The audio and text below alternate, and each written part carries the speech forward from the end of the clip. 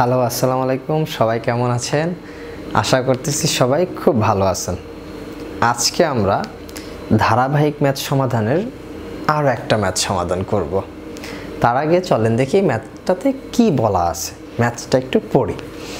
প্রথমে বলা আছে যে দুই অঙ্ক বিশিষ্ট কোনো সংখ্যার অঙ্ক দয়ের সমষ্টি হচ্ছে নাইন তারপর বলছে অঙ্ক দুটি স্থান যদি বিনিময় করে, তাহলে যে সংখ্যা পাওয়া যায়, তা প্রদত্ত সংখ্যা হতে পঁয়তাল্লিশ কম, অর্থাৎ ফর্টি ফাইভ কম। সংখ্যাটি নির্ণয় করো।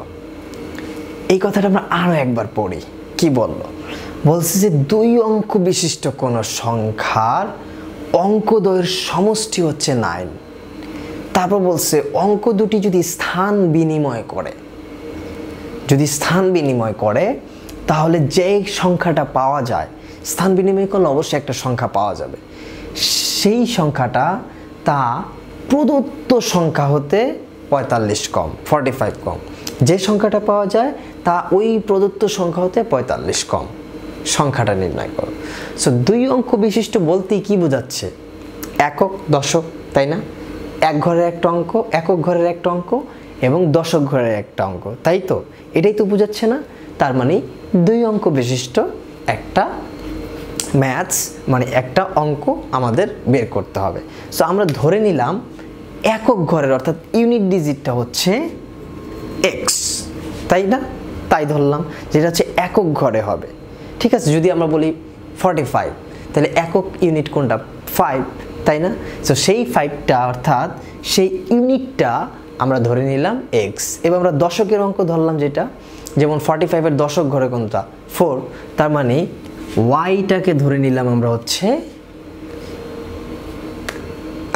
দশকের অঙ্ক, দশকের ঘরে যেটা, সেটা। অর্থাৎ টেন্থ ডিজিট যেটা, অর্থাৎ দশক সংখ্যা যেটা। সো এরকম আমরা দুইটা অঙ্ক ধরে নিলাম। এখন বলছে এটা হচ্ছে একক, ইউনিট, একক ঘর, এটা হচ্ছে দশক ঘর। এখন বলছে এই যে দুই অঙ্ক বিশিষ্ট, এর সমষ্টি হচ্ছে নাইন এর সমষ্টি কত?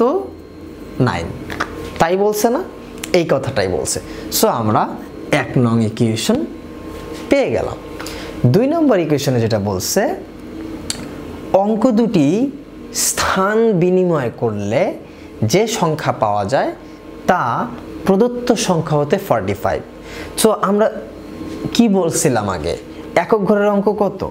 এক্স তাই না? তাহলে দশকের ঘরের অঙ্ক কত হবে? টেন ওয়াই তাই তো হবে, তাই না? এটাই হবে। এবং এই দুইটা যদি অঙ্ক যদি স্থান বিনিময় করে, অর্থাৎ ফর্টি ফাইভের ফোর যদি এককের ঘরে চলে যায় আর ফাইভ যদি দশকের ঘরে চলে আসে, অর্থাৎ তাহলে কী হয়ে যাবে ফর্টি ফাইভ হয়ে যাবে চুয়ান্ন, তার মানে ফিফটি ফোর তাই তো, স্থান বিনিময় করল। সো আমরা সেই স্থানটায় বিনিময় করে দিলাম। টেন এক্স প্লাস ওয়াই এই কথাটাই বলছে না, সে সাথে আর একটা কথা বলছে। সেটা বলছে, তা প্রদত্ত সংখ্যা হতে ফর্টি ফাইভ কম। এই যে যে প্রদত্ত সংখ্যা, এই সংখ্যা হতে ফর্টি ফাইভ কম। এই কথাটাই বলছে না, এই সেকেন্ড লাইনে দেখেন, এই কথাটাই বলছে। বলছে, অঙ্ক দুটি স্থান বিনিময় করলে যে সংখ্যা পাওয়া যায়, তা প্রদত্ত সংখ্যা হতে ফর্টি ফাইভ কম। অঙ্ক দুটি স্থান বিনিময় করলে, স্থান বিনিময় করলে যে সংখ্যা পাওয়া যায় তা এই প্রদত্ত সংখ্যা হতে ফর্টি ফাইভ কম। অঙ্ক দুটি যদি স্থান বিনিময় করে, এই দুইটা অঙ্ক যদি স্থান বিনিময় করে, তাহলে যেই সংখ্যাটা পাওয়া গেল, সেই সংখ্যাটা হচ্ছে এই প্রদত্ত সংখ্যা হতে ফর্টি ফাইভ কম। এই কথাটাই বলছে। সো এইটাকে যদি আমরা এই সাইডে নিয়ে আসি, তাহলে কি হয়? Ten Y minus ten X minus Y সমান সমান ফর্টি ফাইভ এটাই হয় না?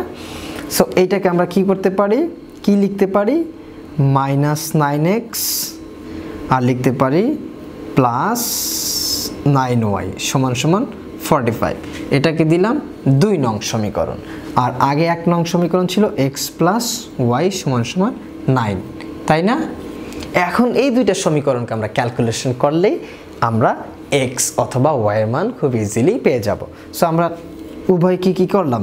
এক নং সমীকরণকে নাইন দ্বারা কি করতেছি আমরা? গুণ দিয়ে দিচ্ছি। যদি নাইন দ্বারা গুণ দিয়ে দেই, তাহলে এটা হবে এইটি ওয়ান সো আমরা এটাকে কি করব? মানে আমরা এটাকে যোগ করতেছি।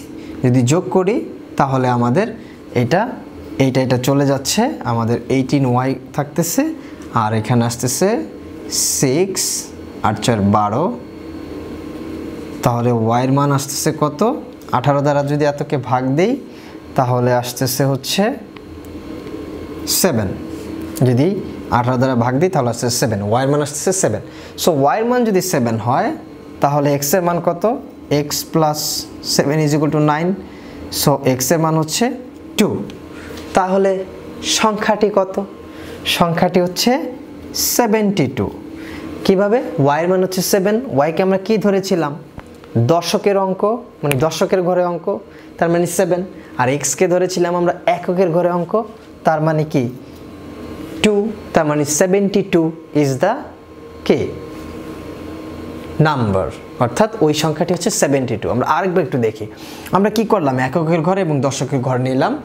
একটা হচ্ছে এক্স আর একটা হচ্ছে ওয়াই যেটাকে আমরা সমষ্টি করলাম নাইন একটা ইকুয়েশন পেলাম। আমরা সেকেন্ড ইকুয়েশনও বানায় ফেললাম সেকেন্ড লাইন দ্বারা। এক্স প্লাস টেন ওয়াই এটা হচ্ছে একক অঙ্ক, এটা দশকের অঙ্ক, এবং এটা যদি স্থান বিনিময় করে, তাহলে যেটা হয় টেন এক্স প্লাস ওয়াই এবং এর থেকে আমাদের ফর্টি ফাইভ বাদ দিয়ে দিতে হলো। এরপর আমরা ক্যালকুলেশন করলাম, দুইটা সমীকরণকে ইকুয়েশন করে ক্যালকুলেশন করে আমরা এক্স ওয়াইয়ের মান বের করে ফেললাম। এই একটা নিয়মে আমরা এই ম্যাথটা দেখলাম। দেখলাম যে খুব সহজেই আমরা ম্যাথটা সলভ করতে পারলাম। এবার আমরা আরও একটা নিয়মে দেখব। সেটা হচ্ছে, আমরা ধরলাম যে দুই অঙ্ক বিশিষ্ট কোনো সংখ্যার অঙ্ক দয়ের সমষ্টি হচ্ছে নাইন তার মানে একটা সংখ্যা হচ্ছে এক্স আরেকটা সংখ্যাকে আমরা ধরলাম নাইন মাইনাস এক্স। কেন ধরলাম? যদি আমরা এই দুটাকে যোগ করি, দেখেন তাদের সমষ্টি কত হয়? নাইন হয়। যদি আমরা যোগ করে দিই, এক্স এক্স চলে যায়, সমষ্টি কি হয়? নাইন হয়।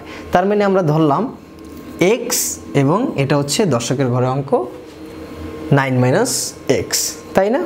এবার আমরা আসি। সেটা হচ্ছে, বলছে যে অঙ্ক দুটির স্থান বিনিময় করলে। সো আমরা কি জানি? আমরা জানি যে এক্স হচ্ছে কি? এককের ঘরে অঙ্ক, তাহলে ten into nine minus X. এটা কি? দশকের ঘরের অঙ্ক না? সো এটাকে আমরা কি লিখতে পারি? X plus ninety minus ten X. So এটাকে লিখতে পারি নাইনটি মাইনাস নাইন এক্স। তাই না? তাই তো। এখন বলছে যে এই সংখ্যাটা যদি স্থান বিনিময় করে, তাহলে কি হবে? স্থান বিনিময় করলে আবার দেখেন, এটা টেন এক্স হবে প্লাস নাইন মাইনাস এক্স তাই না? যদি স্থান বিনিময় করে, তাহলে এটাকে আমরা কি লিখতে পারি? আমরা লিখতে পারি নাইন এক্স প্লাস নাইন তাই লিখতে পারি না? এটা কি স্থান বিনিময় করে না? আর এটা হচ্ছে প্রদত্ত সংখ্যা। এখন আমাদের সমীকরণটা বিল্ড আপ করতে হবে কীভাবে? প্রদত্ত সংখ্যা হতে কত বাদ দিতে হবে? ফর্টি ফাইভ বাদ দিতে হবে। তাহলে কি হবে? স্থান বিনিময় করে যেই সংখ্যাটা, সেই সংখ্যাটা সমান হয়ে যাবে। সো আমরা সেটাই করতেছি। Ninety minus nine X minus forty five is equal to কত? Nine X plus nine so এবার আমরা খুব ইজিলি ইকুয়েশনটা সমাধান করে বলতেছি। Nine X minus nine X is equal to আসতেছে minus thirty six so X is equal to আসতেছে কত? টু এক্সের মান আসলো কত? টু তাই না? আমরা এক্সকে ধরেছিলাম কত? এককের ঘরের অঙ্ক। আর এই নাইন মাইনাস এক্সকে ধরেছিলাম দশকের ঘরের অঙ্ক। তাহলে এক্সের মান যদি টু বসাই, তাহলে কত আসে? সেভেন তার মানে কি? আমার নির্ণয়ের সংখ্যাটা কত আসে?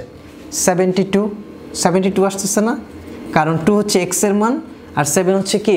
দশকের ঘরের মান nine minus six seventy two তাই তো? সো আমরা এই ম্যাথসটা এই দুইটা নিয়মে খুব সহজেই বের করে ফেললাম। এই ম্যাথসটা খুবই ইম্পর্ট্যান্ট অনেকবার বিভিন্ন পরীক্ষায় ম্যাথটা আসে বা এসেছে। সো এই ম্যাথটা আমরা একটু দেখব প্র্যাকটিস করব, একটু বোঝার চেষ্টা করব। আমি দুইটা নিয়মই দেখাই দিলাম। এই নিয়মগুলো দেখলে হয়তো বা খুব ইজিতে বা খুব সহজেই ম্যাথটা শেষ করতে পারবেন। সবাইকে ধন্যবাদ। আল্লাহ হাফেজ।